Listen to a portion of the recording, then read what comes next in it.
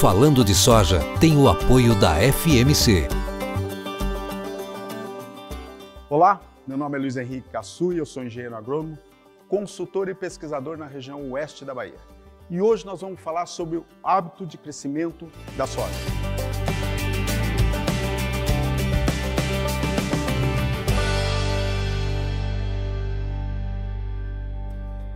Na classificação moderna hoje, o hábito de crescimento da soja pode ser de forma determinada, semideterminado, semi-indeterminado e indeterminado. É assim que nós classificamos hoje o hábito de crescimento da soja. Tipo determinado: a soja não emite novos nós após o florescimento, ou seja, ela tem uma concentração de floração durante seu período. Isso é muito importante para que o produtor conheça especificamente aquela variedade que está plantando de hábito determinado, principalmente para determinar as aplicações de fungicida nessa cultura e todo o seu manejo. A soja de ciclo determinado, ela crescerá até um certo ponto e depois daí ela emitirá novas folhas. Sempre que as folhas do bacheiro, médio e ponteiro aproximadamente terão o mesmo tamanho. Tipo indeterminado a soja continua a emissão de novas flores e novos nós. Ela começa o seu florescimento muito cedo. Por isso é importante o produtor saber exatamente qual tipo de soja que ele está plantando, se é ciclo determinado ou ciclo indeterminado. E ela continua emitindo novas flores durante o seu ciclo, podendo chegar até 45, 50 dias emitindo novas flores. É importante isso meu controle de doença. Você, produtor, está plantando soja de ciclo indeterminado? Fique atento, porque normalmente ela está começando a florar aos 25 dias, enquanto que, por exemplo, uma determinada aos 45, 50 dias. A soja poderá ter aproximadamente o ciclo determinado indeterminado, diferença de 20 dias de início da floração. Isso é muito importante para a gente determinar qual o tipo de fungicida que eu estou usando e qual o meu manejo que eu estarei fazendo para aquela cultivar. Essas variedades de ciclo indeterminado vieram originalmente dos Estados Unidos e Argentina e hoje estão tomando uma grande proporção no Brasil. Vocês vão ver soja com florescimento durante praticamente todo o seu ciclo, com hastes mais altas, mais eretas e pouco engalhamento. Isso são características de soja de ciclo indeterminado. E em grande parte do Brasil hoje, o produtor procura o quê? Sojas que tenham ciclo mais curto. E essas sojas cultivares que estão vindo de ciclo indeterminado estão proporcionando ao produtor um ciclo mais curto para que ele possa, principalmente algumas regiões, Mato Grosso, Paraná, fazer uma segunda safra. Essas variedades de ciclo indeterminado têm um crescimento muito vigoroso e engalham pouco, ou seja, elas vão ter um florescimento muito grande durante todo o ciclo.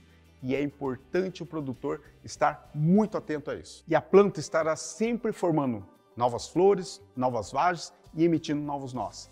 E característica cada vez mais procurando isso são variedades com índice de área foliar menor. Então é importante nós termos uma qualidade de aplicação muito boa.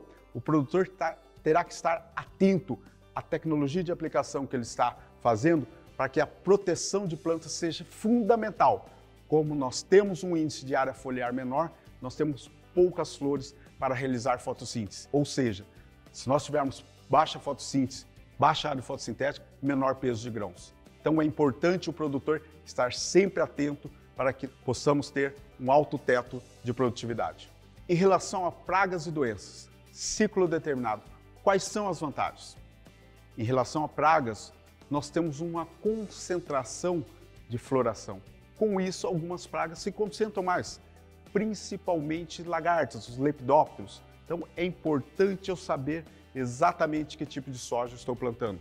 Com isso, terei uma determinação melhor para o controle daquela determinada praga. Outra praga importante, como o percevejo, também ele gosta muito na fase R3, ou seja, a formação de canivetes então, se eu tenho um ciclo determinado, logicamente eu vou ter um ataque menor dessas pragas. E doenças? Entre elas, eu posso citar o mofo branco, como esclerotínia, é importante quando eu tenho uma forma de escleróides, apotécios no solo, que seriam pegando bastante essa flor. Ou seja, quando eu tenho mofo branco, eu tenho que ter temperaturas noturnas baixas. E esses escleróides que depois vão virar apotécios, depende de temperaturas abaixo de 22 graus noturnas. É importante eu saber que eu vou ter uma floração com ciclo determinado para que eu possa controlar esclerotínia que eu acabei de citar para vocês. Ciclo indeterminado. Quais são as vantagens que nós temos? Como eu já disse, nós temos uma floração durante um período muito maior. Ou seja, se nós estamos atravessando por um período de estresse hídrico, por exemplo, a capacidade de recuperação dessa planta é muito maior quando eu tenho uma planta de ciclo determinado. Se nós temos qualquer problema com outro estresse, fitotoxicidade ou estresse abiótico, por exemplo, nós podemos ter uma recuperação muito forte com essa planta, quando as condições voltarem ao normal. Então, se nós temos ciclo indeterminado, a capacidade de recuperação daquela planta é muito maior. Então, se nós estamos plantando uma região que está sujeita a um estresse hídrico, veranicos, por exemplo, a de fatores de ciclo indeterminado é muito mais recomendado para essa região. Em relação a doenças, como nós temos um período de floração maior, nós temos algumas já florando, nós temos algumas em canivete ou até formando vagem, nós temos que tomar muito cuidado em relação a isso aí, porque as aplicações de fungicida nós temos que pegar aquele estágio correto da planta, com uma frequência um pouco maior. Então, o cuidado que eu tenho que ter um ciclo determinado, indeterminado, nesse caso é muito maior em relação às aplicações de fungicida. Quando você tem um ciclo determinado e ciclo indeterminado, qual é a diferença de manejo que você tem que fazer? A diferença de manejo é o seguinte: nós temos lagartas num período mais concentrado, ciclo determinado, e algumas doenças, como eu acabei de citar, mofo branco, esclerotínia.